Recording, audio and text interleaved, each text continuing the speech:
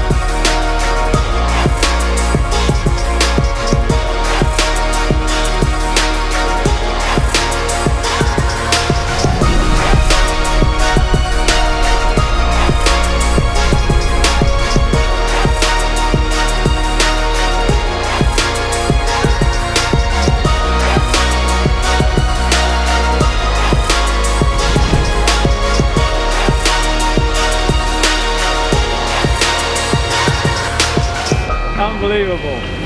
And can't even see the competition. it's nice to see how these mods can do against the big boys. Um, testament to this boat really. Uh, super slick manoeuvres, um, lots of sail changes, kept the boat super slippery in the light and they, uh, the guys did a great job.